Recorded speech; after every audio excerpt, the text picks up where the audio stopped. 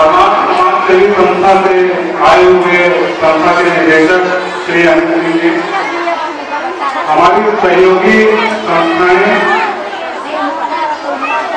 अंतर्राष्ट्रीय महिला दिवस के अवसर पर पहली ये बड़ी उत्पन्न है कि ये अंतर्राष्ट्रीय महिला दिवस है अंतर्राष्ट्रीय महिला दिवस के अवसर पर आज जो हम यहाँ पे स्त्री शक्ति का उत्सव मना रहे हैं उस उत्सव को मनाने हेतु यहाँ पे पधारी हुई, सभी माताओं और बहनों को मैं अपना कर्तव्य से नमन करता हूँ और साथ ही ये आशा करता हूँ कि वो आज जो उत्सव है, वो उत्सव एक दिन का ना हो सके पूरे तीन सौ पैंसठ दिन, अगर हम और थोड़ा सा आगे जाए तो हमें मालूम है कि साल में तीन सौ पैंसठ के अलावा चौथाई दिन और जोड़ता है तो मैं उसको नहीं छोड़ना चाहूँगा। तो मैं तो ये चाहूँगा कि ये स्त्री शक्ति का उत्सव जो आज हम यहाँ पे मनाने के लिए इकट्ठा हुए हैं, वो पूरा तीन सौ पैंसठ दिन चलता रहे। अब अगर हम इसका थोड़ा सा ऐतिहासिक परिप्रेक्ष्य देखेंगे तो ये बड़ी विडंबना है कि अंतर्राष्ट्रीय महिला दिवस इस उत्सव को मनाने की शुरुआत अमेरिका से हुई मतलब हम एक उस देश की बात कर रहे हैं, जहाँ पे आर्थिक आज़ादी, महिलाओं की आज़ादी, पुरुषों की आज़ादी, बराबरी का दर्जा, ये सब बातें ऐतिहासिक हो चुकी हैं। आज वहाँ पर वास्तविक रूप से सभी लक्ष्यों को प्राप्त किया जा चुका है। किंतु विडंबना देखिए कि वो अंतर्राष्ट्रीय महिला दिवस वहाँ से शुरू हुआ। क्यों? क्योंकि उन्नीसवीं शताब्दी के प्रारंभ में 1910 के आसपास शिकागो शहर में अमेरिका के महिलाओं ने अपने अधिकारों के लिए, महिलाओं ने अपने अधिकारों के लिए वहाँ पर मोर्चा किया। विषय थोड़ा सीधा साधा था महिला पुरुष जो दोनों लोग कार्य करते थे, उन दोनों लोगों को कार्य का समान वेतन प्रदान नहीं किया जाता था।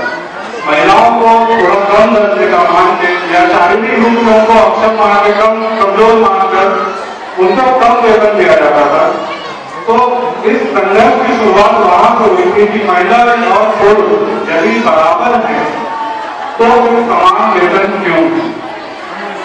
उस दिवस के उपलक्ष्य में ये धीरे धीरे त्योहार, ये स्त्री शक्ति का त्योहार धीरे धीरे पूरे विश्व में फैल गया।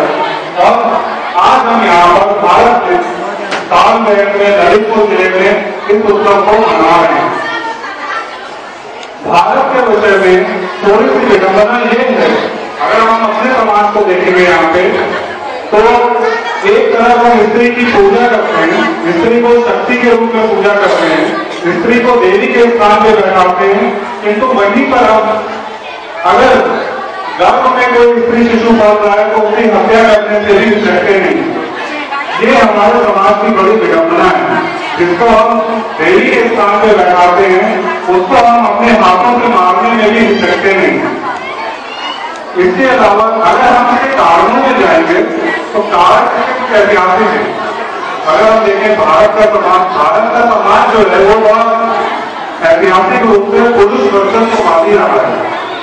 भारत के समाज में, चाहे वो भाग हो, चाहे हमारा समाज हो ऐतिहासिक रूप से निर्णय लेने की क्षमता जो है, वो पुरुषों के हाथ में थी।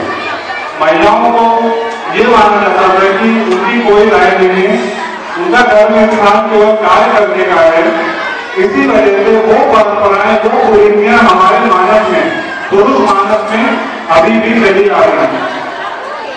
आज हम यहाँ पर इकट्ठा होकर के धीरे धीरे प्रयास कर रहे हैं कि हम उस मानस से बाहर निकलें उस मानस से, उस मानसिकता से बाहर निकलने की कोशिश महिलाओं से ज़्यादा पुरुषों को करनी पड़ेगी।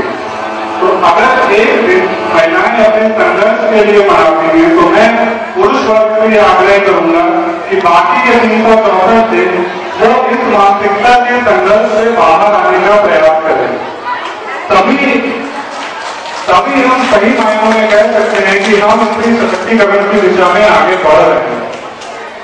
ये त्योहार, मेरा मानना है कि ये त्योहार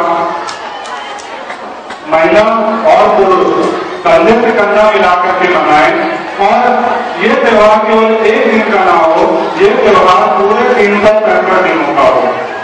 अगर हम इस मानसिकता के साथ आगे बढ़ेंगे, महिलाओं को समाज में बराबरी का दर्जा देंगे, तब जाकर के हम इस त्योहार को वास्तविक रूप से शायद वर्ष पर्यंत मना सकें। तो मेरा, आप सभी लोगों से यह अनुरोध है कि आप जहाँ पर भी जाएँ, महिला सशक्तिकरण का परचम जैसे आपने आज यहाँ पे उठा रखा है उस बर्तन को कभी भी नीचे मत होने दें उस बर्तन को हमेशा उठा के रखें